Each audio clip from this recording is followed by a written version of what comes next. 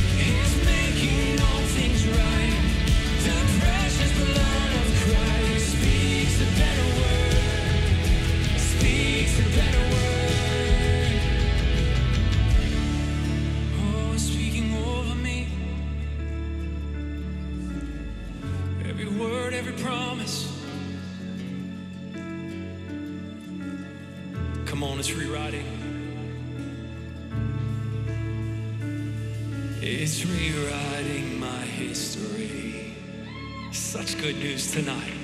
It covers me with destiny. Come on, it's making, it's making all things right. Precious blood of Christ, it's rewriting my history. It covers me with destiny. It's making all things right. The precious blood Oh, it covers, it covers, it covers me.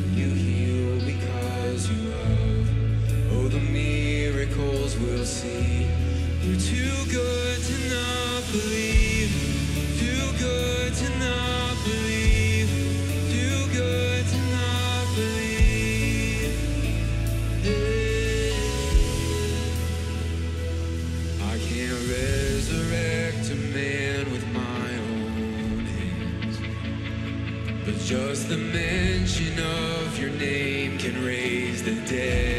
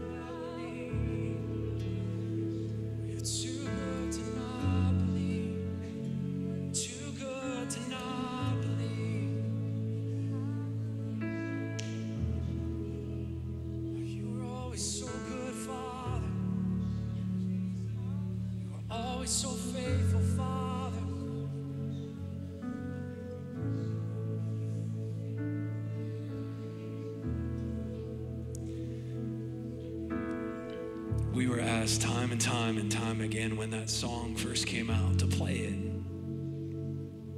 I don't know if I've ever said this or not, but yeah, it's a great song. There's so many great songs, but you get a song like that that just declares just such goodness. And of course, it's a hit. It's all of those things. It's it's just awesome. It's an awesome song. But I refuse to play it until I lived it. And I can say as a church, we now live that.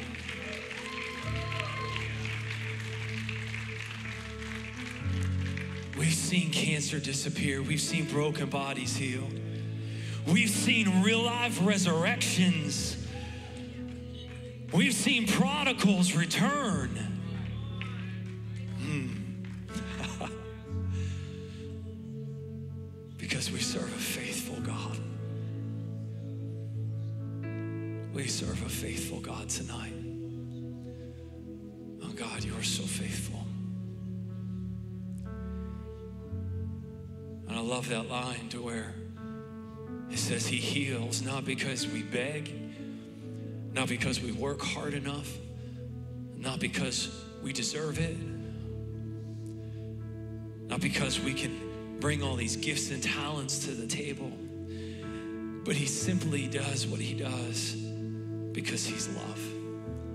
For God so loved the world, not that we were lovely, we were so broken, we were so fallen. We were so far from our original design, but God so loved. Why? Because He's love. God so loved the world that He gave Jesus.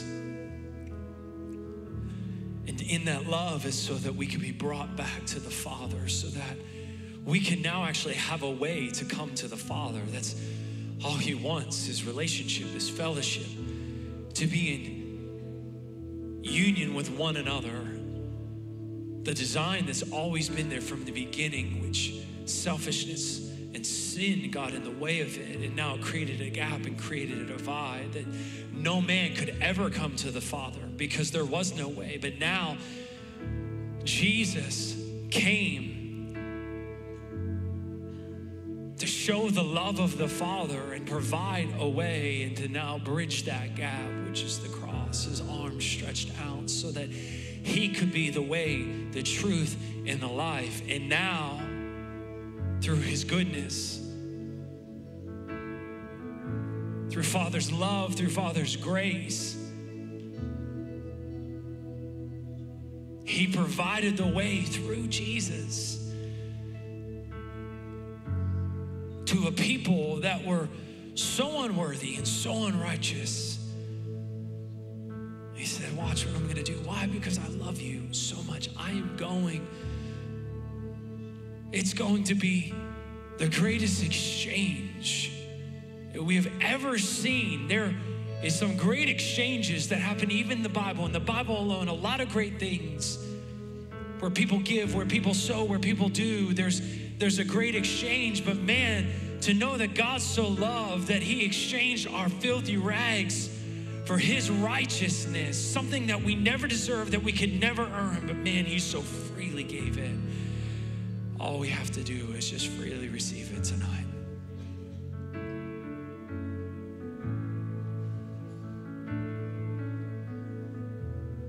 You might be saying, Well, I'm just so unlovely, I'm so unlovable. That's why God so loved you that he gave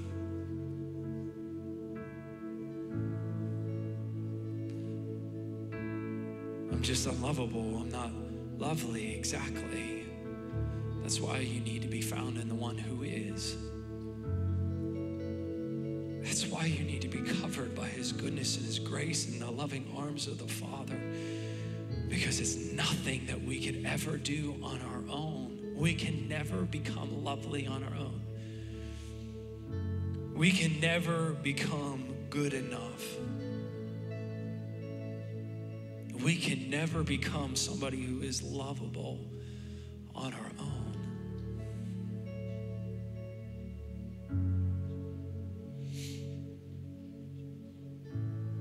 But that's okay. Because God so loved. Not that we just loved God hard enough that He gave.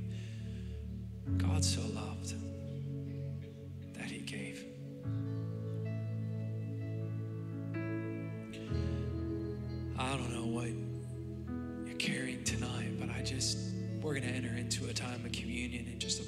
Opportunity. But if you don't have elements, just kindly slip them up, your hand up, and someone will be around, uh, get you what you need. And here's my thing I don't know what you came in carrying today, but I know what you can leave at the table.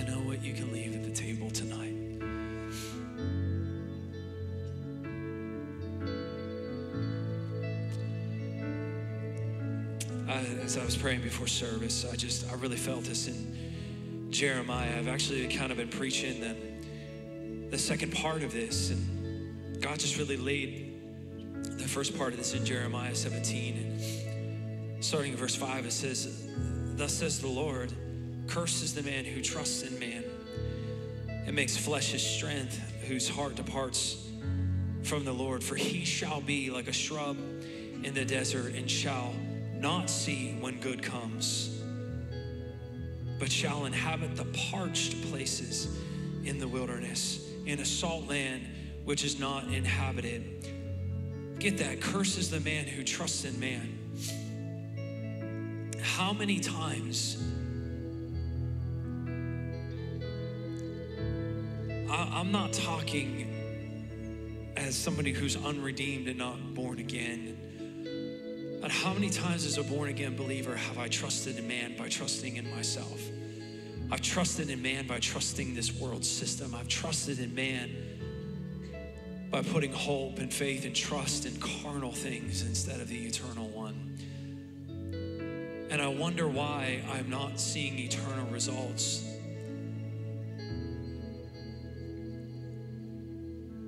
Is because it says, Cursed is the man who trusts in man. When we put our hope in the temporary, it can only ever bring about temporary. And it doesn't matter how good on the surface that temporary may be, it can only ever produce temporary results. And if it's something that's in this world system, which is temporary, it can only ever produce something as good as this world system can produce. Even the best in this world system is nothing compared to our heavenly, who our heavenly Father is. And that's what David said in Psalms is the Lord is my shepherd, I shall not want. I shall not desire the things of this world.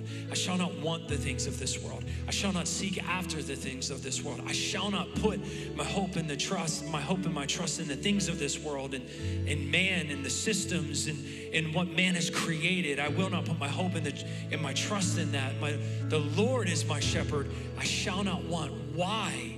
Why? Because David understood and he knew that what he had in his heavenly father was far more, was far greater than what this world could ever offer. This world, as much as it can muster up, as much as it can put together, it can never truly offer hope. As much as it can put together, and as much of this world system can come together, and as much as man can become elite and, and smart and, and accomplished, man can never truly offer hope. Man can truly never offer peace. Man can truly never offer offer truth and wisdom and life. Why? Because only those things can come from our heavenly Father. Man can try. And so what we'll do is we'll we'll take things and we'll we'll take and we think because we're good enough. We'll take him and then we'll try to manipulate him. we'll try to manipulate a system. We'll try to i mean just look at everything. Somebody be like, well i created this out of nothing. No you just simply manipulated elements that god gave you to use. There was no creating and so that's what man does and especially in broken man, an unredeemed man, an unrenewed man, even as a born again believer, when we don't have our minds renewed, our system that we're born into is trying to just simply manipulate the things of this world, whether it's a system, whether it's people.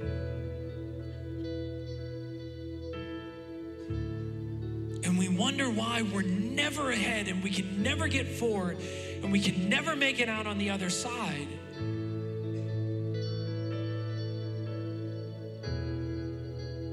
Simply because we can only manipulate what this world can offer and even the best that this world can offer. Always, always, always, always, always will fall short of who we're designed to be and who we're called to be and how we're called to walk and how we're called to talk and how we're called to live. That's why I can say, cursed is the man who trusts in man. Why? Because man can never bring about anything more than something that's simply cursed. That's why we need Jesus. Because he defeated the curse. He took on the curse. He's the one that came and took it on and hung on the tree because he, he knew that we could never go anywhere beyond that. We did not have it in our own strength, in our own mind, in our own power to ever do anything, to ever even get up to that point.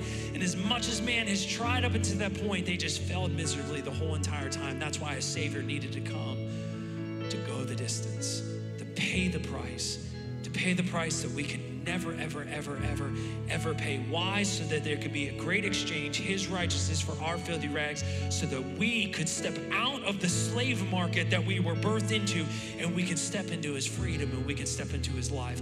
Another slave can never set a slave free. It doesn't matter how hard we try and what we do, we are all in this slave market. But that's why Jesus needed to come, the perfect man. One who the enemy thought was caught in that market with no way out. But he was the perfect, spotless, sinless Lamb of God, and the power of sin had no right to hold him. And so he paid the price, we find freedom, and now, the moment we say yes to Jesus Christ, we can walk in his freedom. Why? Because the curse has been removed and we've been pulled out from out from the darkness and out of the miry clay. And we've been washed clean and made pure and made holy and beautiful and righteous. And now we can go on and do exactly what the second half says but blessed is the man who trusts in the lord whose hope is in the Lord. Why? Because blessing can only ever come from God. Hope can ever only come from God, for he shall be like a tree planted by the waters, which spreads out its roots by the river. Oh man, God wants to just see you grow and expand tonight in his goodness, and he will not fear when he comes, but his leaf will be green. It will not be anxious in the year of drought, nor will cease from yielding fruit. And I believe tonight that's just such a perfect invitation because so many of us, we get to the point to where we feel we're not worthy, we're not righteous, and in our own self we're not. But through the great exchange, of, again, of His righteousness for our filthy rags, that He puts on His robe of righteousness, we can now come worthy to the table. He now invites us in, and now we can sit and partake of His goodness in His life, in His grandeur, in His magnitude. His heart and His design is to see His goodness on display and advertised in our lives. And I believe a big part of that is coming when we come to the table, when we have these communion suppers, we come to the table and just rest in His goodness. We, we take and we eat our fill and we're nourished. And, and man, it just, his life source is able to fill us up so it can flow forth from who we are. Ah, it's just so beautiful. So when Jesus sat down with his disciples,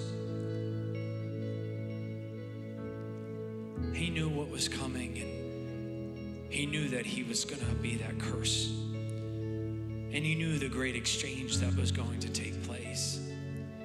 And I think what's beautiful is the greatest thing that we could possibly ever have is salvation. But man, what love that love gave to even now see us fulfilled and walking in his goodness, even in our bodies. When he sat down, he said, This bread, it represents my body, which is broken for you. What did his body go through? It took on hurt, it took on pain, it took on the stripes so that by his stripes we could be healed, healthy, and whole. It took on those things. He took the torment and the pain and the and the lack of this world, he took it into who he was so that we could walk in fullness, not just on the other side of eternity, but we could we could have the opportunity to walk in his wholeness now. And so when he sat down, he said, Hey, this is my body. You're going to see that. You're going to see what my body is going to go through so that your body could be made whole.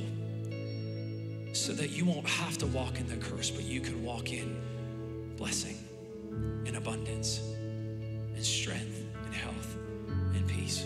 I'm going to take it on. This is my body, which is broken for you. And he invites us and he invites you and me tonight, just like he did with his disciples. Say, take and eat it. Do it in remembrance of me. So many times we fail to remember what Jesus paid for.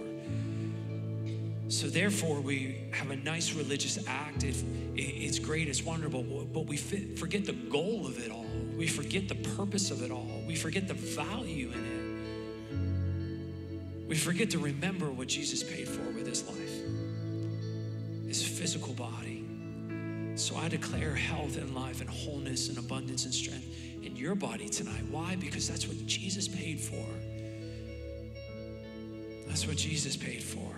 So let's just make a decision tonight to live in what Jesus paid for.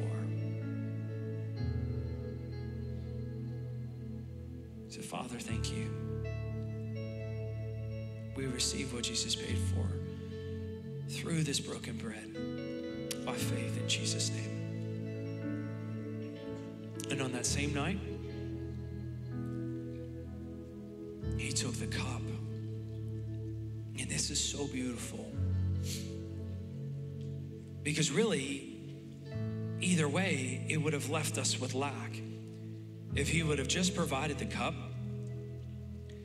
it would have just been forgiveness of sin, which is the greatest thing ever that our sin debt is paid because it's something that we can never do. And it's the very thing that bought the opportunity for us to now live in Christ and be in the presence of our Heavenly Father for all eternity.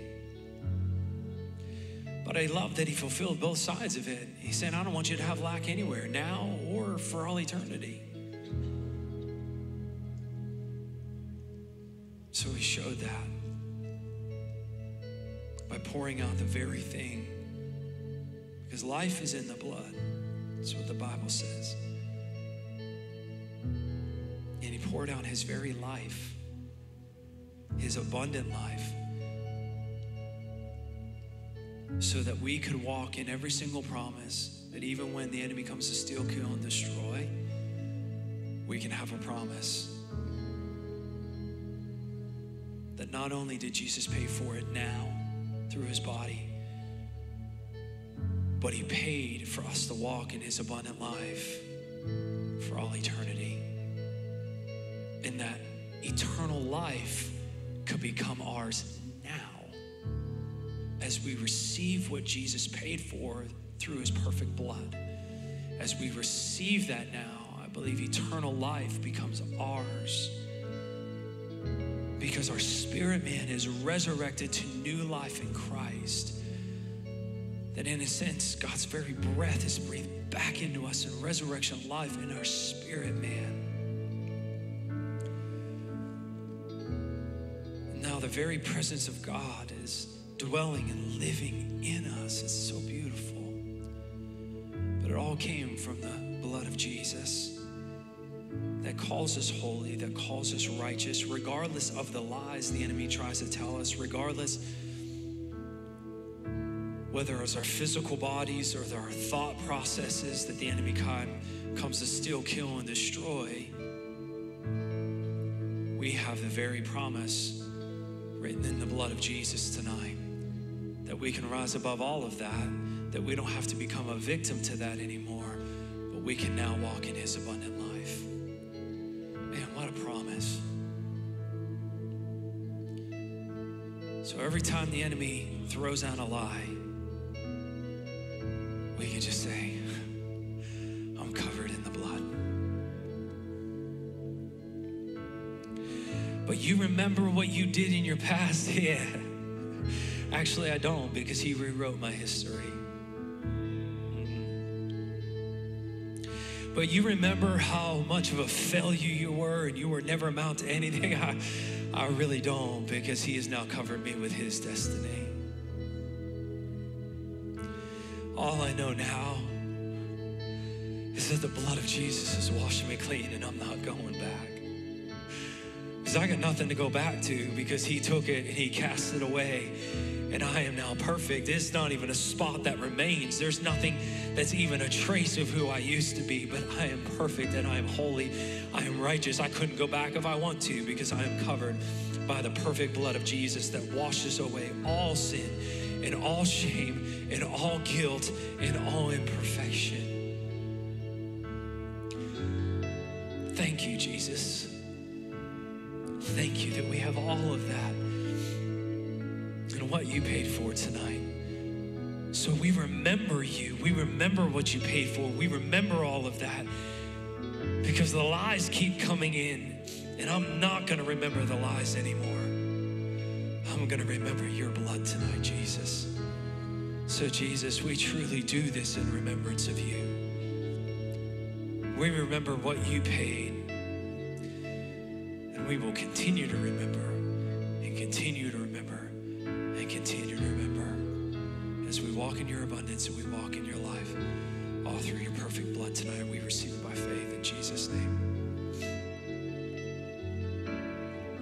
Thank you, Jesus. You're amazing and you love us. Thank you for giving. Thank you for pouring out. And I thank you, Father, that you're going to continue to give and pour out tonight because you're not done with what you want to do tonight in and through your people, in and through your beloved. So thank you, Jesus. Thank you. Thank you. Amen.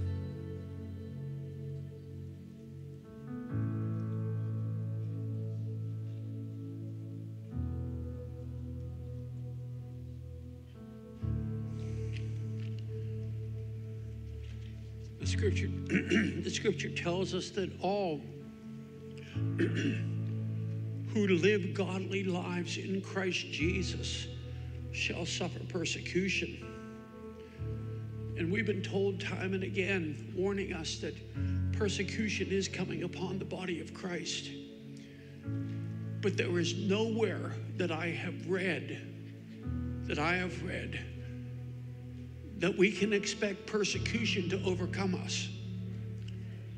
It may come against us, but I have not read where we have to receive it, accept it, and allow it to happen and to overtake us. I believe the authority that Jesus Christ has given us, that authority has power over every realm of darkness. No matter how it comes against us, that authority works against every realm of darkness.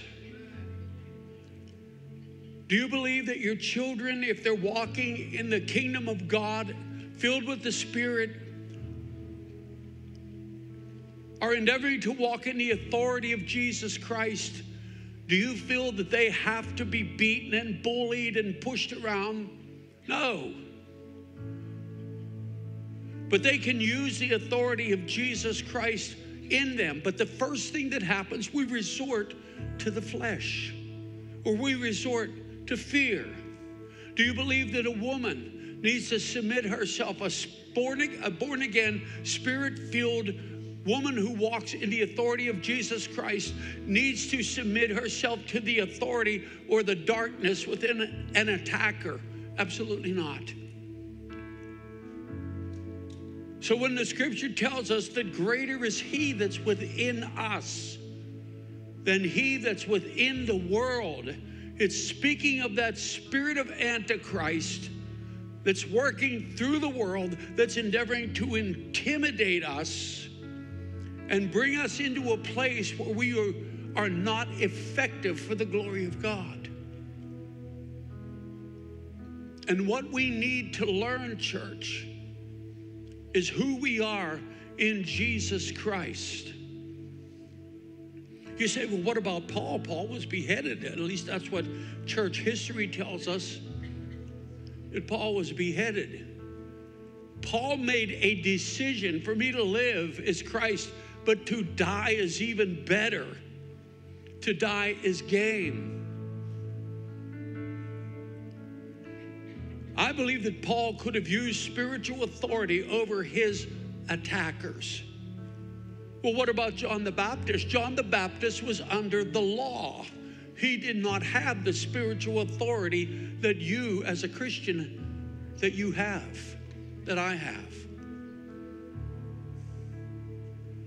Jesus said, All authority give I you over all the power of the enemy and nothing by any means shall hurt you. Now, there has been promise. We have an election coming up in less than a week. And there has been promise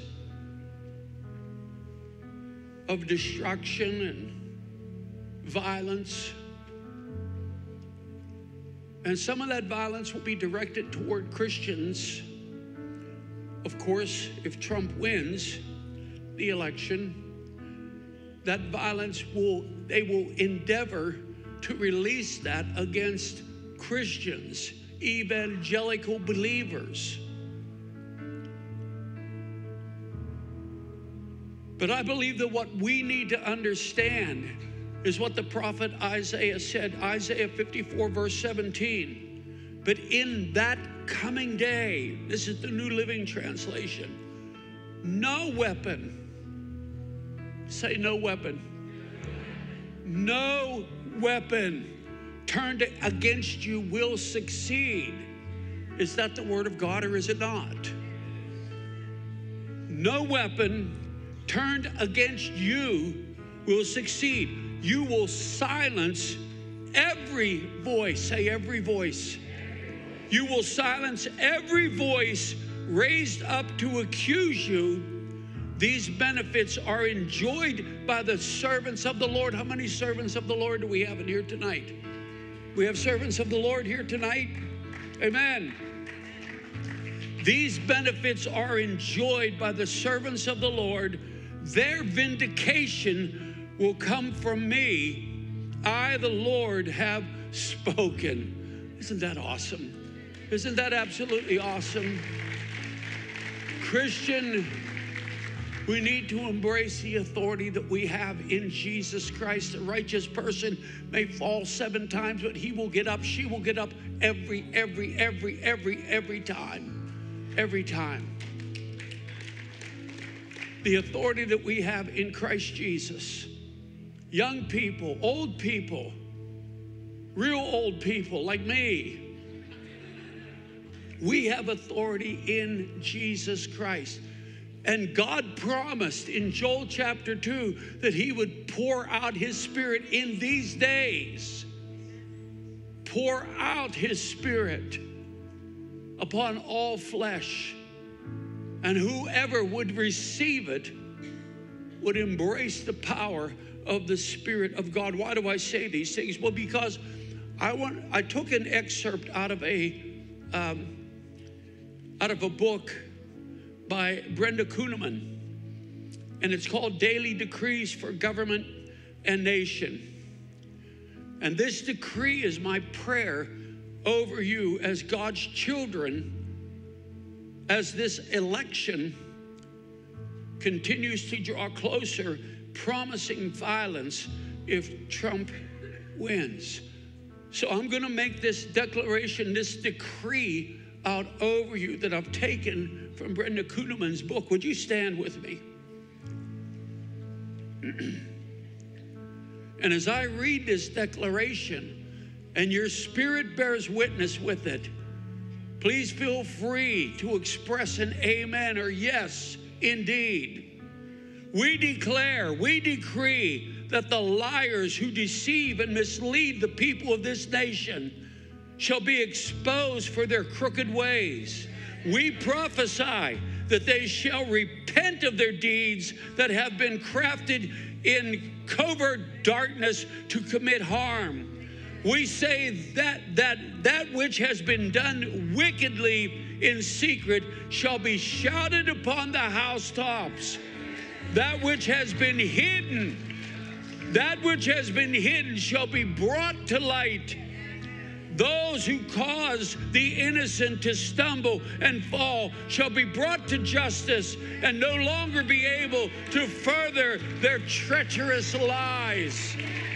In Jesus' name, we bind the demons of lying, deceit, fraud, trickery, and hypocrisy in Jesus' name. We command truth to prevail upon our land. We speak that lies perpetrated on the airways shall be exposed. And we loose the spirit of truth. We prophesy that media outlets that are committed to truth shall arise and defy the false. May the people of this nation see through every lying spirit and embrace truthful facts. We say that liars and deceivers shall be exposed in the name of Jesus.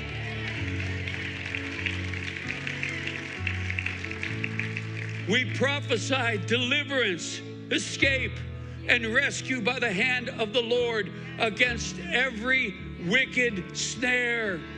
We say deliverance rests upon us upon our families, upon our homes, upon our communities, and we live in peace and safety in the name of the Lord Jesus. Will you give him a praise?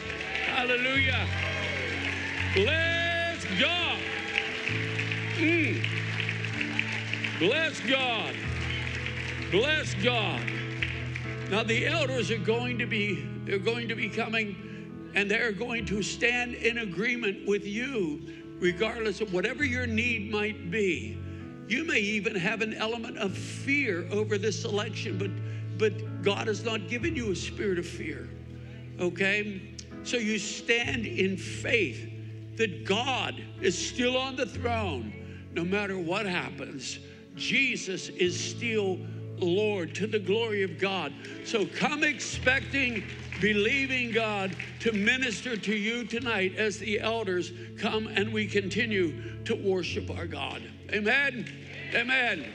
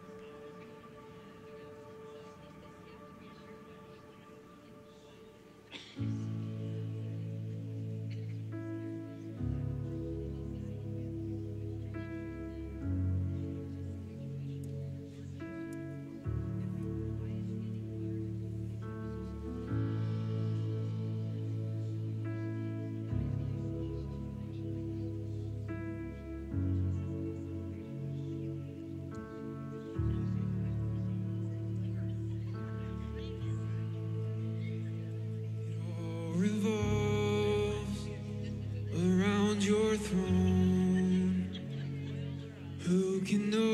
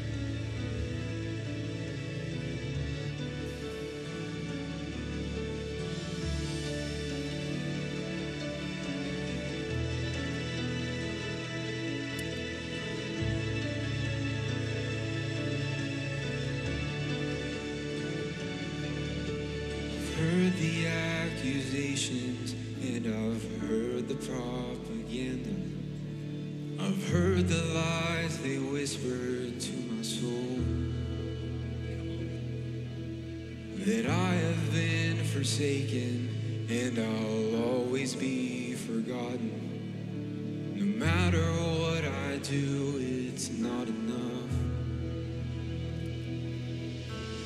Then I heard a voice as it